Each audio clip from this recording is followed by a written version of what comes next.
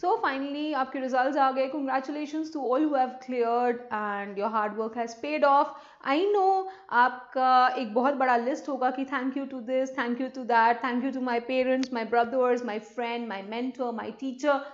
but you know in your heart and everyone knows it is finally your hard work which has paid off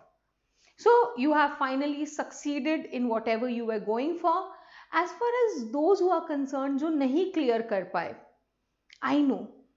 मेरे friends की uh, क्या बोलते हैं birthday parties थी वो लोग घर पे आ जाते थे रिलेटिव्स आ गए थे क्योंकि भाई की शादी थी। कभी ये कभी वो मम्मी बोल देती थी ये काम कर दो वो काम कर दो। कोई समझता ही नहीं था कि मेरा करियर कितना सीरियस है। तो आई अंडरस्टैंड कि फेलियर का reason everyone everyone is the reason for your failure except you this this is the reason for your failure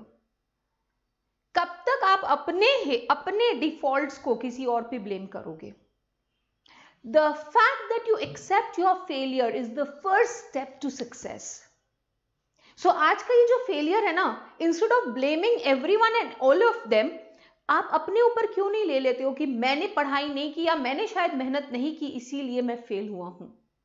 so instead of blaming others आप एक काम करो put in all your efforts put your hard work into it ताकि next time आपका failure आपका success बन जाए